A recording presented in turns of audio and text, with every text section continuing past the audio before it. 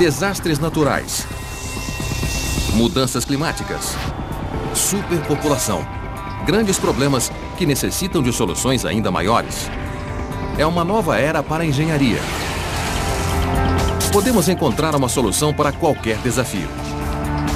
Em Houston, um local ameaçado por furacões e pelo calor, uma cúpula do tamanho da cidade protegeria milhões de pessoas. Isso é engenharia extrema.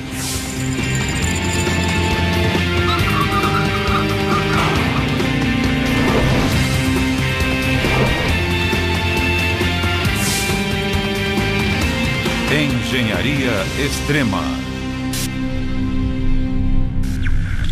Bom dia, Houston. O furacão Sônia ainda está castigando os subúrbios da cidade. Calculamos que ele vai se tornar um furacão de categoria 2, com ventos de 160 km por hora e índice pluviométrico de até 200 milímetros. Mas, se você estiver dentro da cúpula, pode ficar tranquilo. Será mais um lindo dia com a temperatura regulada em 22 graus e apenas 10% de umidade relativa do ar.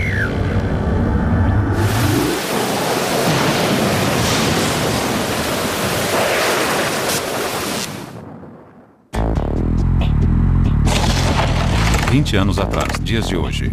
Houston, no Texas. A quarta cidade mais populosa dos Estados Unidos está em perigo.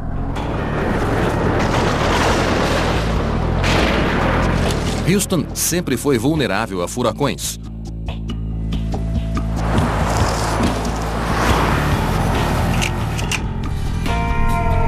Desde a grande tempestade de 1900, a pior na história dos Estados Unidos, que matou 8 mil pessoas, até o furacão Ike, que em 2008 causou 10 bilhões de dólares em prejuízos e forçou o fechamento do centro da cidade por quase uma semana.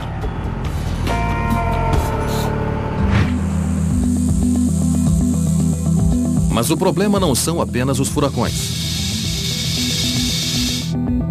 O calor escaldante e a umidade do ar também oprimem essa grande cidade. Em quase 100 dias do ano, a temperatura ultrapassa os 32 graus. E numa cidade com tanta umidade, a sensação de calor é maior ainda. Os aparelhos de ar-condicionado são um alívio, mas tem seu custo. O crescente uso de energia elétrica dos habitantes de Houston pôs a cidade à frente de Los Angeles na disputa pelo primeiro lugar na emissão de gases do efeito estufa. Um mérito questionável.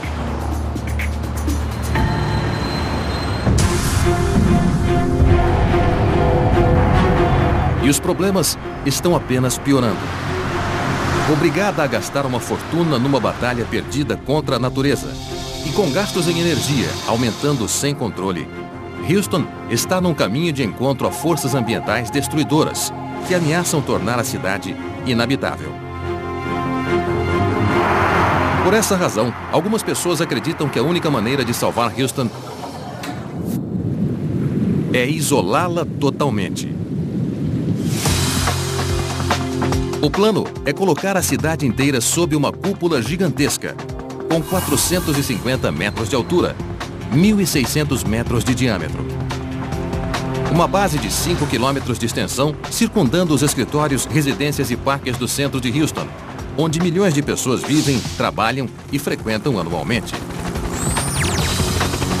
Um sonho audacioso que necessitará de uma obra de engenharia numa escala jamais vista. Bilhões de dólares. Centenas de milhares de toneladas de aço. Materiais avançados, transparentes e extremamente finos. Mas ainda assim robustos o bastante para suportar a força de furacões. E acima de tudo, métodos de construção inovadores para criar a maior mega estrutura do mundo, que será construída com segurança sobre milhões de pessoas, causando o mínimo de transtornos. Não é tão impossível quanto parece. Existe um precedente. Na Cornualha, na Inglaterra, Uma série de cúpulas gigantes, chamadas de biomas, abrigam o maior jardim de clima controlado do mundo. É o projeto Éden. Mas apesar do nome, esse famoso local já foi bem diferente de um paraíso. Essa era uma antiga mina de caulim. Durante mais de 100 anos, ele foi extraído daqui, criando essa enorme cratera. Mas então ele começou a se esgotar. O projeto foi idealizado pelo produtor musical Tim Smith. Seu sonho era transformar a antiga mina a céu aberto em um deslumbrante mostruário de espécies botânicas que representassem os diversos climas do planeta. Mas a construção de um ambiente fechado para inúmeras plantas tropicais e mediterrâneas em meio ao clima temperado da Cornualha levaria o conceito de estufa ao extremo. A construção de uma estufa retangular tradicional não seria eficiente. Desperdiçaria materiais, espaço e energia. Um fator inaceitável dentro do conceito ecologicamente correto do Projeto Éden. Assim, os construtores tiveram de encontrar outra solução.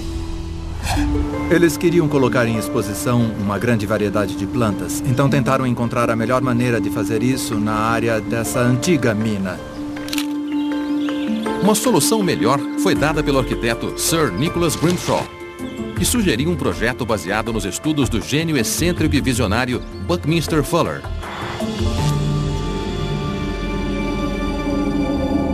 Buckminster Fuller foi um arquiteto, um engenheiro, um inventor. Ele passou a maior parte da vida tentando esclarecer as pessoas sobre o potencial de projetos conscientes para reconstruir o nosso mundo de forma a oferecer uma qualidade de vida melhor para a humanidade. Ele conhecia um pouco de tudo. Ele tinha conhecimentos intuitivos de ciência, matemática e física. Mesmo que não tenha estudado para ser um matemático, arquiteto ou engenheiro, isso era parte dele. A visão multidisciplinar de Fuller o ajudou a projetar uma estrutura que combinasse beleza e eficiência de uma maneira inovadora. Ele analisou diversos projetos e ideias diferentes e se deparou com uma pergunta muito simples. Qual é a maneira mais eficiente de se construir um recinto fechado com a menor quantidade de materiais e trazer o maior número de benefícios? ele encontrou a solução, uma cúpula. Por ser a seção de uma esfera, a cúpula é um formato extremamente eficiente para grandes áreas. Se precisarmos envolver o maior volume com uma menor superfície possível, uma esfera será a forma geométrica mais eficiente. Para envolver o mesmo volume usando um formato cúbico, precisaríamos de mais material do que seria necessário usando uma forma esférica. Mas construir cúpulas é complicado. As cúpulas clássicas, como a cúpula de Brunelleschi em Florença, são muito mais espessas na base do que no topo. Uma cúpula equivalente sobre Houston teria uma base tão grande que seria impossível construí-la. Fuller queria mudar as cúpulas, renová-las e levá-las para as massas. Em 1954, ele patenteou uma ideia que considerava ser capaz de despertar uma nova visão sobre a arquitetura. Ele a chamou de cúpula geodésica. Ela soluciona os maiores problemas das cúpulas clássicas. Cúpulas geodésicas podem ter qualquer dimensão. Elas são leves, muito resistentes e podem ser construídas com o uso de apenas algumas formas. Em 1965, Fuller anunciou a ideia mais ambiciosa e, segundo alguns, a mais extravagante de sua carreira. Uma gigantesca cúpula geodésica que cobriria o centro de Manhattan. A ideia de Fuller foi considerada digna de ficção científica. Quando ele propôs construir uma cúpula sobre Manhattan, ele nunca pensou que isso seria feito até o fim da década, se é que aconteceria. Ele quis nos surpreender, abrir nossos olhos para novas possibilidades. Atualmente, a construção de uma cúpula do tamanho de uma cidade talvez seja finalmente possível. E para algumas cidades, ela pode ser necessária para evitar desastres. Existem grandes tempestades que se formam e destroem grande parte da cidade, destroem toda a infraestrutura e também acabam com a rede elétrica a cidade fica paralisada. A cúpula de Houston será baseada nos princípios do projeto Eden, utilizando muitos dos mesmos conceitos, mas em uma escala infinitamente maior. 91 vezes maior do que a estrutura britânica. A construção dessa cúpula será um empreendimento gigantesco. E sim, custará muito caro. Mas se considerarmos a vida útil dessa cúpula, o que ela poderá fazer pela cidade e a energia gerada tanto em energia quanto na proteção de cada residência, vai ser um bom investimento. Uma cúpula sobre Houston é uma experiência sem precedentes.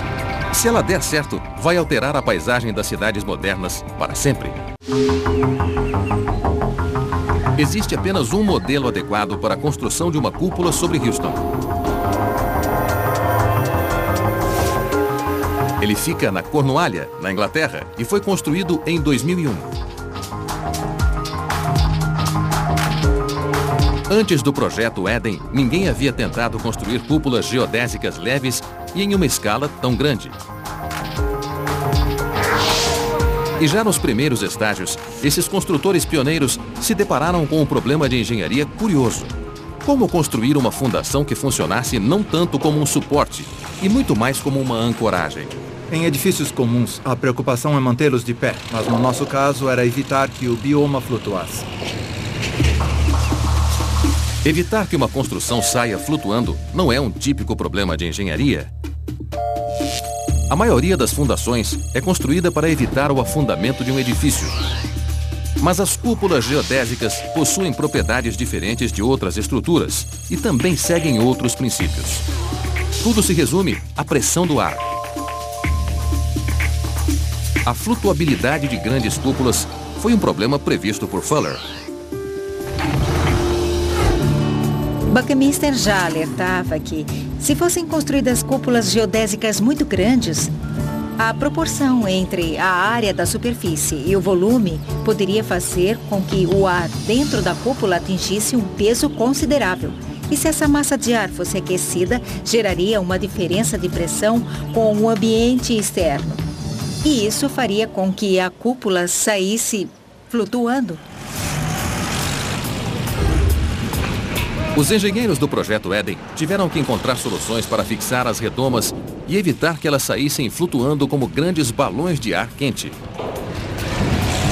Tivemos que construir uma imensa fundação circular que percorre toda a base do bioma e na qual estruturas de ancoragem foram fixadas profundamente para evitar que ele saísse flutuando. A fundação circular também possui outra função. Ela serve para neutralizar uma força que os engenheiros estruturais chamam de empuxo horizontal. Ele não age como o empuxo de um foguete, mas se manifesta como a tendência das cúpulas de se abrirem adquirindo uma forma plana. A fundação circular construída para as cúpulas do projeto Eden se estende por 340 metros e consumiu mais de 6 mil toneladas de concreto.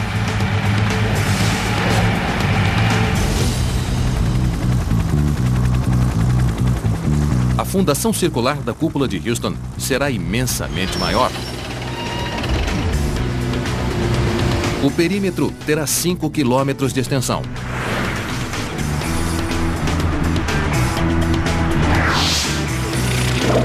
Para construí-la, serão necessários quase 300 milhões de toneladas de concreto de alta resistência.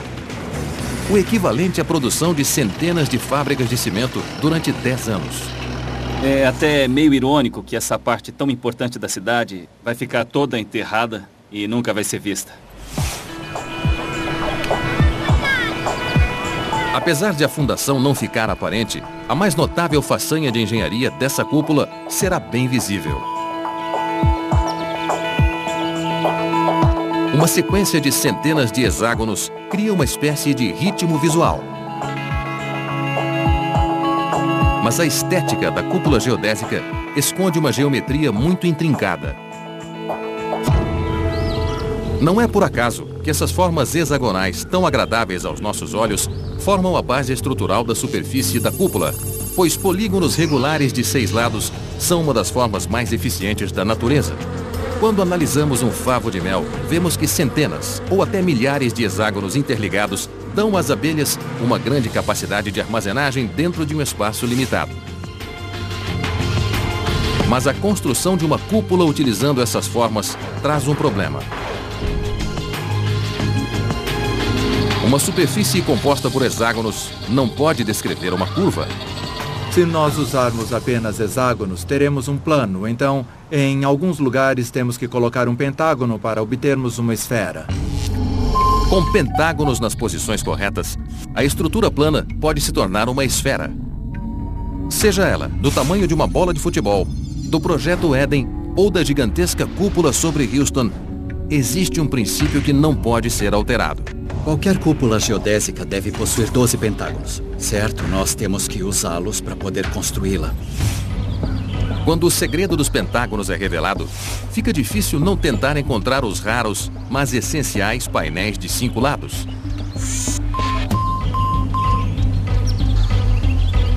Notamos que quando os visitantes chegam aqui, alguns olham para baixo e outros para cima. Os que vêm para conhecer as plantas olham para baixo. E os que estão interessados na estrutura olham para cima. Outro elemento da construção fica ainda mais oculto. Ele confere uma grande resistência. A estrutura de aço. Estreitas barras de aço formam uma rede geométrica bem abaixo da superfície da cúpula. Essa estrutura conta com a resistência própria de outra forma, o triângulo. Um conjunto de tetraedros fica em contato com as laterais dos painéis, gerando grande sustentação contra ventos muito fortes. O triângulo mantém a forma por si só, ele possui uma estabilidade inerente. Podemos projetar uma rede de triângulos de tal forma que sejam deixados espaços hexagonais entre eles. E a rede de triângulos irá dar estabilidade aos hexágonos, porque eles não poderiam se estabilizar sozinhos. A construção da cúpula de Houston será apenas uma questão de aumentar a escala, adaptando-se às lições aprendidas pelos construtores pioneiros da Cornualha. Mas não se engane. Houston enfrentará desafios desencorajadores que nunca ameaçaram o projeto Eden. A maior vantagem é que encontramos uma área livre e a maior parte dela não tinha obstáculos.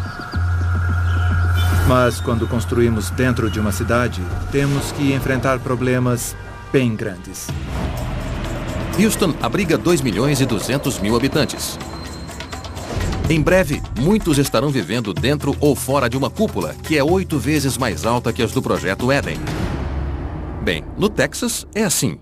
Quanto maior, melhor. Quando essa gigantesca obra pública for executada, os moradores de Houston testemunharão o início da mais ambiciosa obra de engenharia da história.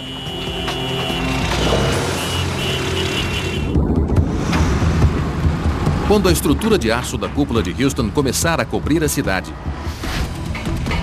a construção irá se parecer com a estrutura de aço de um arranha-céu. Vigas serão carregadas por guindastes instaladas por operários especializados. Mas as semelhanças logo acabarão.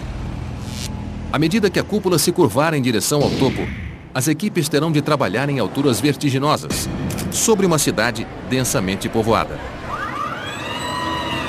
Eles deverão instalar cerca de 150 mil painéis, usando quase um milhão de barras de suporte unidas por centenas de milhares de pontos de interconexão. Para a execução dessa cúpula, vai ser necessária uma nova metodologia de construção. Se houver um desvio de um milímetro e meio em uma parte da cúpula geodésica, ele será ampliado e duas barras de suporte vão ficar separadas por 5 centímetros do outro lado da cúpula. Estamos lidando com o nível de tolerância da indústria aeronáutica em vez das tolerâncias da construção civil. A fabricação e a construção da cúpula exigirão operários capazes de trabalhar com a precisão de relojoeiros. Um grande desafio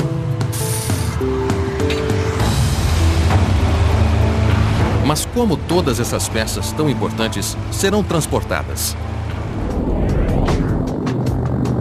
Uma das ideias que vem sendo discutida é utilizar um conjunto de dirigíveis capazes de permanecer no ar por um longo período de tempo. Dirigíveis pairando sobre a cidade relembram uma época passada. Mas um dirigível como o Zeppelin NT pode ser a solução. Dirigíveis podem ser mais leves que o ar, mas são incrivelmente robustos e atualmente seguros. O hidrogênio que abastecia o Hindenburg era traiçoeiro, mas os dirigíveis atuais são abastecidos com hélio, um gás inerte e não inflamável. Um dirigível é capaz de permanecer no ar por horas.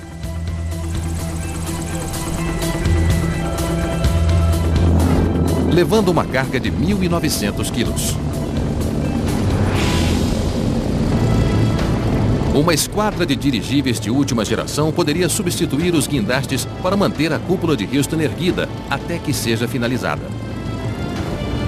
Serão necessários planejamento, coordenação e um cronograma de recebimento de materiais muito bem organizado. Uma quantidade colossal de materiais terá que ser usada, uma quantidade bem maior do que podemos imaginar. Isso deverá ser programado detalhadamente para assegurar que tudo corra sem problemas.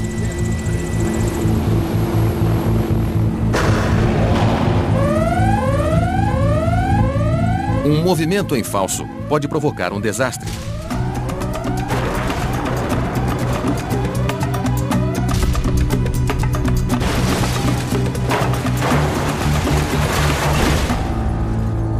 A não ser que os construtores utilizem a maior rede de segurança do mundo como última medida de proteção.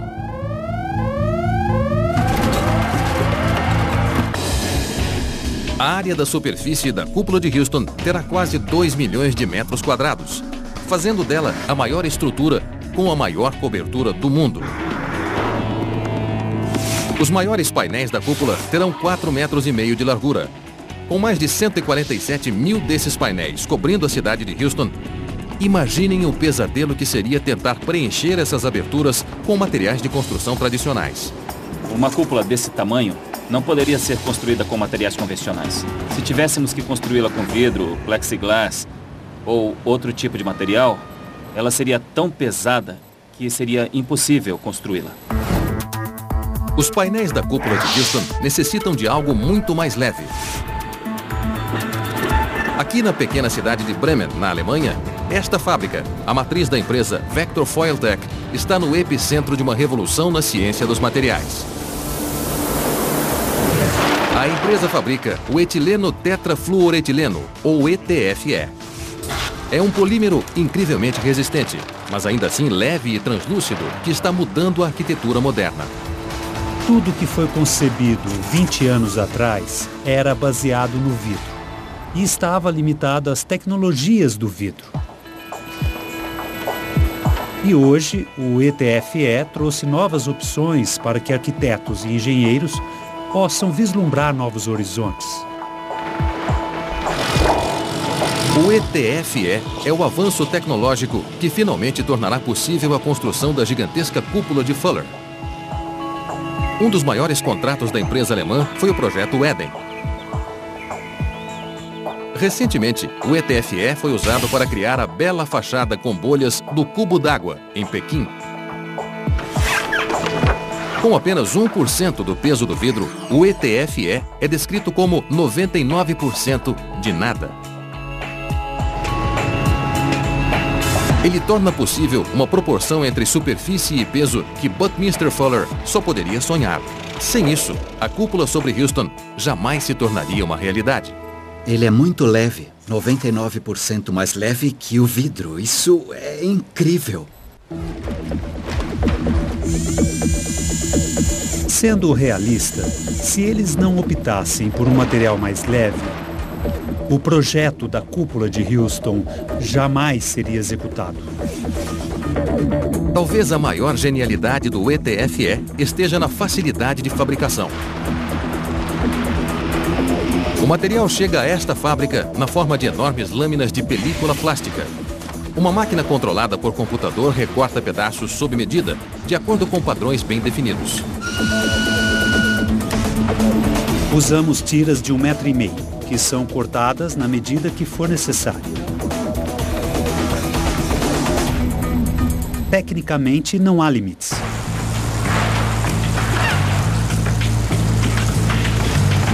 A etapa mais crítica é unir uma película a outra através do calor. Uma costura enfraquecida pode gerar um rompimento. então as películas são unidas à mão. A cúpula de Houston também irá utilizar um conceito aperfeiçoado no projeto Eden. Em vez de películas individuais de ETFE, cada um dos painéis será composto de três películas unidas que vão criar um colchão de ar. Os colchões de ETFE possuem três camadas. Uma camada central e outras duas camadas que a envolvem. Eles se mantêm inflados, proporcionando um isolamento térmico fantástico. Os colchões isolam as cúpulas sem adicionar muito peso. E mais importante ainda, não diminuem a luminosidade do ambiente.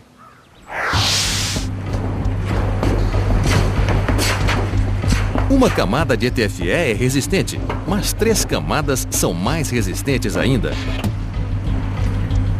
E os colchões de ar ainda podem ser inflados para criar formas aerodinâmicas capazes de reagir às mudanças nos ventos.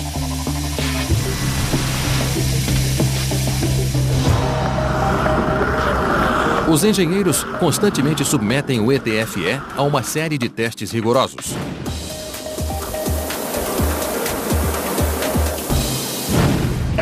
A força do vento irá submeter o ETFE a esforços elásticos. Para testar este lote, os técnicos penduram cinco pesos de 68 quilos em uma tira de ETFE. Para ser aprovado, o ETFE deve se esticar lentamente, mas não pode se romper.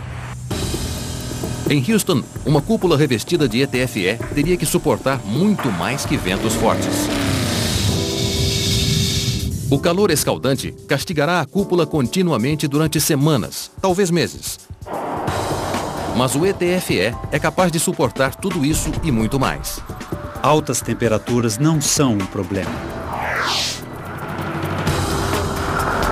Usando um maçarico de propano, os técnicos elevam lentamente a temperatura de uma amostra da película.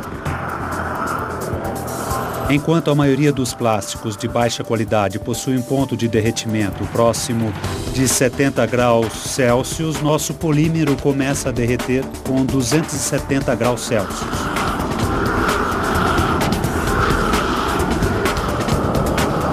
Apenas quando o maçarico é dirigido diretamente sobre o plástico é que ele se rompe.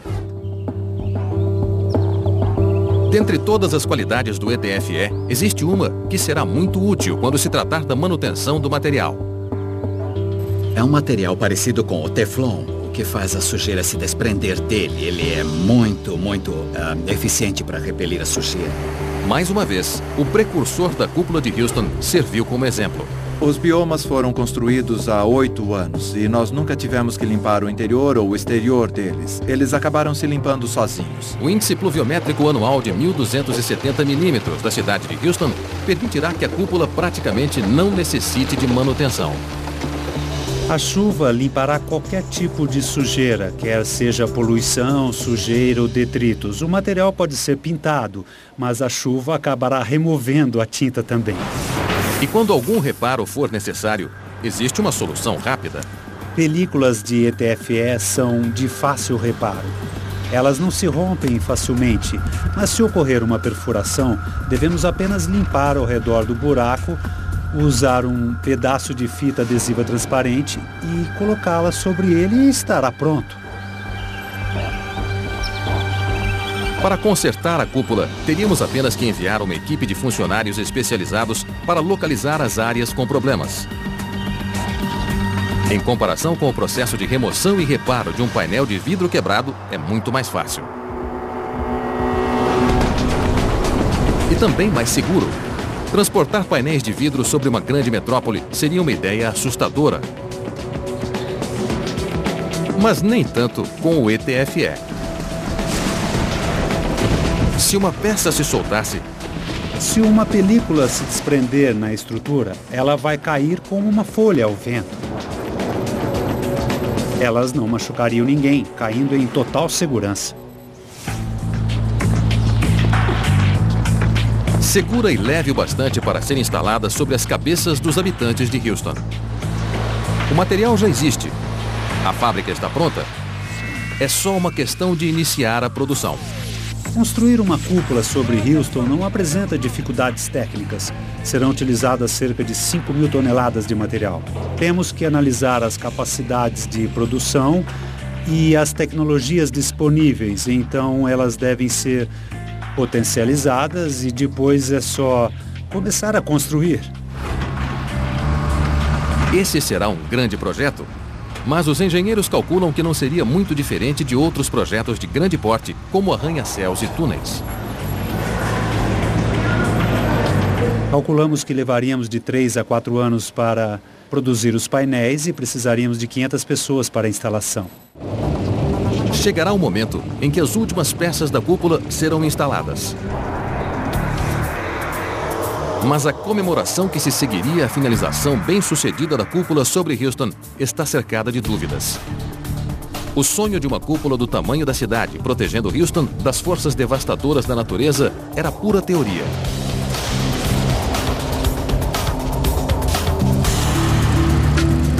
Agora, os construtores vão descobrir se essa estrutura audaciosa poderá tornar a vida melhor ou terá sido o maior engano da história da engenharia. Muito antes de a própria natureza testá-la, os moradores terão que se adaptar com o impacto da cúpula sobre a vida cotidiana. A presença de uma enorme cúpula geodésica sobre uma área urbana iria criar uma nova barreira porque não há dúvida de que haveria uma grande diferença entre morar dentro e morar fora da cúpula. Do lado de fora, a maior mudança seria na paisagem.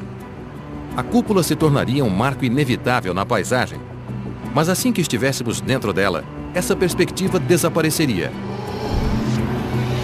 De dentro dela, seria praticamente impossível visualizar a cúpula na sua totalidade.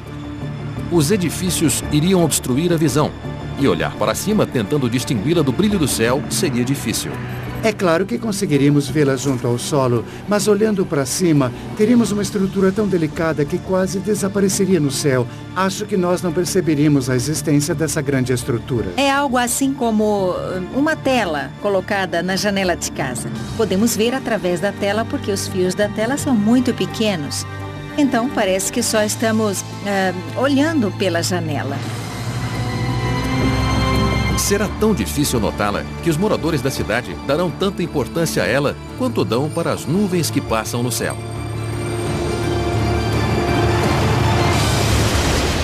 As mesmas nuvens que agora ficam fora da cúpula. A chuva não alaga mais o centro de Houston, mas o sol ainda está lá. Diariamente, ele incide sobre milhares de painéis e transfere calor para o interior da cúpula. O prato do dia é Houston assado.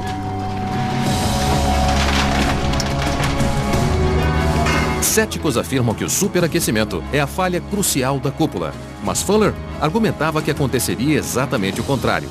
Ele considerava que suas cúpulas eram máquinas de resfriamento, estruturas de alto resfriamento que necessitam de poucos elementos secundários, tais como ventiladores ou ar-condicionado. O segredo está no modo como o formato da estrutura altera os padrões de convecção. Vemos outra característica eficiente analisando o modo como o ar se desloca numa estrutura esférica. E quanto maior a estrutura, maiores serão os benefícios dessa eficiência natural. Quando o ar se aquece, ele sobe. Quando se aproxima do topo, ele se resfria e começa a descer, fazendo o ar se movimentar num padrão circular. Essa circulação evita que a temperatura próxima do solo se eleve. Mas Buckminster Fuller queria ir mais longe. Ele sugeriu a instalação de aberturas reguláveis no topo e na base da estrutura para controlar ainda melhor a temperatura, mantendo as cúpulas aquecidas no inverno e resfriadas no verão. Mas a ideia de Fuller era apenas um palpite lógico. Nunca fizemos experimentos práticos com uma grande cúpula para saber se isso realmente acontece ou não. Buckminster elaborou um ótimo diagrama que está de acordo com o que ele afirmava, mas se isso realmente aconteceria, eu não tinha certeza. Nenhum teste em larga escala foi executado até 2001. Nós não temos unidades de ar-condicionado para resfriar os biomas. Eles são resfriados através da ventilação natural. Existe uma abertura no topo e na base. E esse é o único mecanismo de resfriamento dos biomas. Na Cornualha, a temperatura média é de 3 graus durante o inverno. Ainda assim, um dos biomas é mantido em um clima tropical de 32 graus, com alta umidade relativa do ar, enquanto o outro se mantém num ambiente seco de 25 graus. Em Houston, as aberturas localizadas a 450 metros de altura serão programadas para se abrir automaticamente quando a temperatura no interior da cúpula se elevar. As aberturas irão criar um fluxo de ar contrário, possibilitando a entrada de ar no topo, onde ele é mais frio. À medida que o ar desce, ele é expelido por aberturas próximas da base, gerando a circulação de ar frio por toda a cúpula. Se esse sistema for bem regulado, a alta umidade do ar de Houston também será reduzida. Fuller acreditava que as aberturas permitiriam que o interior da cúpula mantivesse uma temperatura cerca de 15% abaixo da temperatura exterior, reduzindo drasticamente a necessidade de caros sistemas de ar-condicionado. Acho que podemos dizer que Buck foi o primeiro arquiteto verde. Fuller, nos anos 60 e 70, não falava sobre mudanças climáticas, mas sobre sustentabilidade. Acredito que tenha sido um dos primeiros ambientalistas, e isso mostra que os padrões ambientais atuais que consideramos surpreendentes eram previsíveis muito tempo atrás. A eficiência ambiental da cúpula pode ser prejudicada por um fator, Manter quase 150 mil colchões de ar inflados, sob uma pressão constante, necessita de muita energia. Mas a própria cúpula oferece a solução ideal. Milhares de painéis solares instalados estrategicamente para receber a constante luz do sol que banha Houston. Praticamente sem utilizar o ar-condicionado, os moradores irão viver numa cidade renovada. Mas o calor não é o único inimigo de Houston. Bom dia, Houston. O furacão Sônia ainda está castigando os subúrbios da cidade. Calculamos que ele vai se tornar um furacão de categoria 2, com ventos de 160 km por hora e índice pluviométrico de até 220 milímetros. Mas, se estiver dentro da cúpula, fique tranquilo. Será um lindo dia com temperatura de 22 graus e 10% de umidade relativa do ar. Por isso eu aconselho a não sair da cúpula. Obviamente, nós temos que analisar as consequências sociais de cobrir a cidade de Houston, pois de uma hora para outra você teria a possibilidade de controlar o clima. O tempo seria sempre agradável. Mas podemos sentir falta do tempo ruim. Podemos sentir falta da satisfação vinda com o primeiro belo dia de primavera ou daqueles dias em que finalmente a chuva para após uma semana. Após anos de construção e bilhões de dólares em investimentos, a cúpula de Houston se depara com o seu maior desafio. Temos de levar em conta a proteção de eventos climáticos extremos. E eu estou falando de furacões. Um furacão de categoria 5 pode arrasar a cidade. E se uma tempestade como essa atingir Houston, as características mais atraentes da cúpula geodésica tais como a elegante estrutura de barras de aço, os leves painéis plásticos e a ausência de colunas de suporte na parte interior dela, podem gerar a seguinte pergunta. Essa estrutura, aparentemente tão delicada, será capaz de suportar a fúria da Mãe Natureza?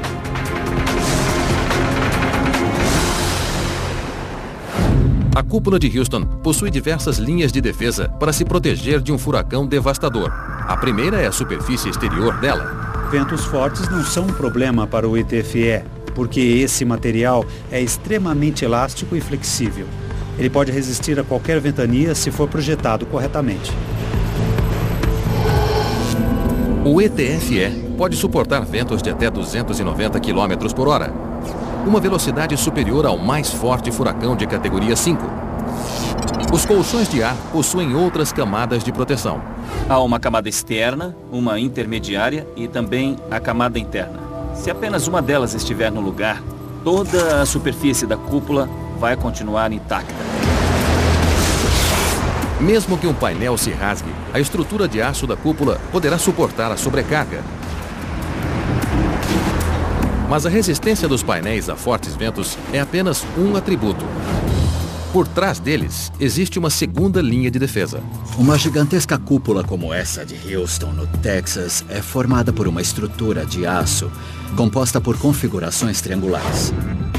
A estrutura de aço, contando com a estabilidade própria das formas triangulares, gera uma força contrária idêntica à força dos ventos. Numa estrutura retangular, o esforço é colocado sobre poucos elementos de sustentação.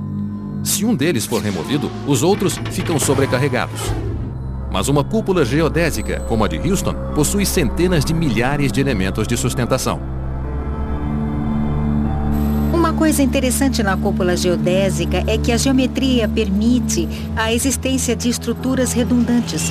Então podemos até retirar algumas barras de suporte ainda assim mantendo toda a estrutura incrivelmente estável.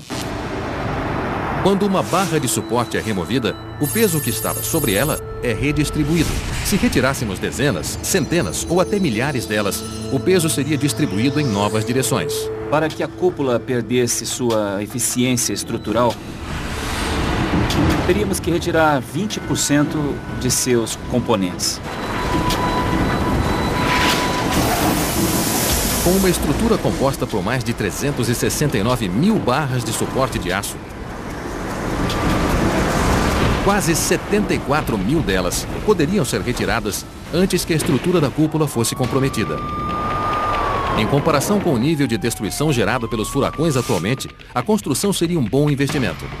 Se compararmos os gastos de limpeza e consertos de edifícios e casas com o gasto para consertar a cúpula depois de ter havido um furacão, com certeza a cúpula vai trazer mais vantagens. O desafio econômico será a necessidade de um enorme investimento inicial. Mas esse investimento tem potencial para retornar aos cofres públicos na forma da economia que será feita após a passagem de um furacão, como a inexistência de gastos com a limpeza da cidade. Se as pessoas compreenderem essa perspectiva econômica de longo prazo, há grandes chances de esse projeto trazer retornos. Esse aspecto positivo poderia alterar completamente a maneira como lidamos com furacões.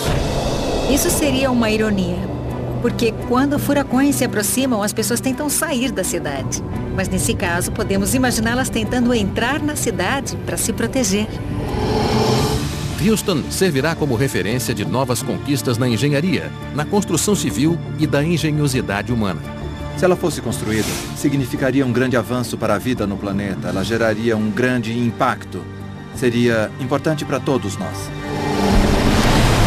Quando o homem procura se proteger das mudanças climáticas e se depara com um mundo em constante mudança, as cidades podem encontrar novas esperanças num simples, robusto e imponente triunfo arquitetônico. A cúpula.